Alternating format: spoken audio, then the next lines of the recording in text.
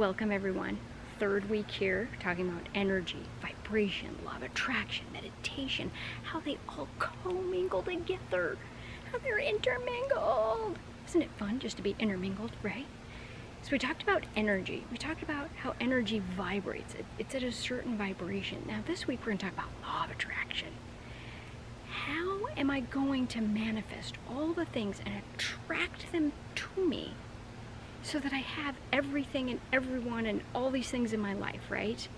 All the things that you've ever wanted. I want a boyfriend. I want to have a baby. I want to get married. I want to go on a cruise. I want a car. I want a new job. I want. How do we do that? What is this vibration and energy, and what does that have to do with it? Well, let's talk about that. So, law of attraction is like attracts like. So if you're at a vibration of love and joy and happiness, you're going to attract more love and joy and happiness to you. Things will start, the world is expanding and you are expanding with it because you are open to having all of these things come to you. If you're down in, in um, all the lower vibrations, then like anger and fear and I can't do it and doubt and all that. All that still is going to, you're in negative, you're contracting, you're repelling everything away from you because you're down in this low, kind of icky vibration that's sort of like in an icky spot that you don't want to be in. You don't want to be in an icky spot because you're going to repel everything that you want away from you. And you're to see that because you're to go, nope, can't have that boyfriend. Nope, that guy just left terrible date.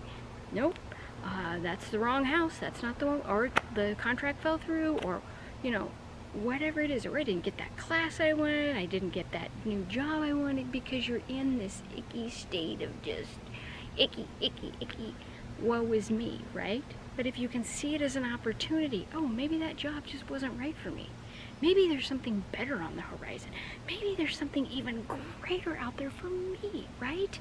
Maybe maybe that wasn't the right boyfriend for me or girlfriend. Maybe that, that wasn't for me, right? Because there's something else out there that is for you.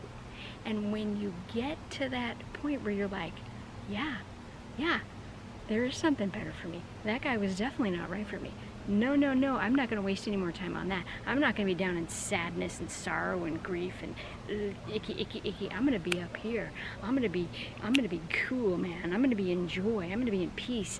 And I'm going to attract with this really high vibration and this, all this energy of me just being this go, go, go, go, go, go, go that they're all going to come to me and they're going to want me and then I'm going to have to decide which one is it that I want. So, law of attraction. You have to get really, really, really clear on what it is you want. You want a car? You better tell me what color that car is. You better tell me uh, what do you want inside that car, right? You better tell me what kind of engine it has. You better tell me, does it have two doors or four doors? Does it have a sunroof? Does it have this? Does it have that, right? I need details, people. I need details what is it that you want? Because if you don't know exactly what you want or pretty darn close then you're going to attract the wrong car right? You're going to get a car but it's not going to be blue it's going to be red. It's not going to have two doors it's going to have four doors. It's not going to be uh, you know a convertible it's going to be a van. And you're like that's not what I wanted right? So we have to get clear we have to believe that it's going to happen. I am going to get the car that I want. I truly believe that in my heart of hearts. You have to remove all doubt because all these other people in the world have gotten cars that they wanted, right? So I get to have my car too. And then you have to visualize it and feel it. So you have to sit and visualize, and you can do that through meditation. Uh, visualize what it is. See that car. See you driving that car what does it feel like when you're in the car? Are you happy because you finally have the car that you want, right? Or are you just happy because you have reliable transportation and it's safe for you to have your kids in the car and it's safe for you to be in the car and it no longer breaks down or whatever the car was doing, right? And then you have to just receive it. So it's this whole process. And in order for the whole process to go all the way through, you need to be at that higher vibration. And you're probably saying, Steph, I can't do it. I can't stay in joy every day, all day. I get it. You can't. Life comes at you. The kids are screaming, the dog, the this, the somebody wants that, the boss wants this. The, you're tired, right? You're tired, you're worn out, you're thinking, how am I ever going to do this? You have to have that belief that it's going to happen, and you have to just pick yourself back up again and think that next best thought, and the next best thought, and the next best thought, until you have all these wonderful good thoughts about things around you, being grateful for the things that are already around you, and then you're starting to lift that vibration and you're lifting it up and it's coming to you and all of your the things that you want are coming towards you instead of repelling away from you.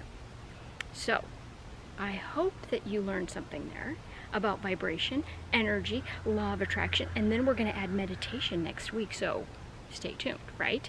So, listen, here we go. August 22nd, guided full moon meditation by moi. You're going to want to be there. I mean, come on. Who doesn't want to have a guided meditation by me? I on. I won't be this crazy during that time. I will be calm. And I know the people who know me, they're probably saying there's no way she can be calm, but I can.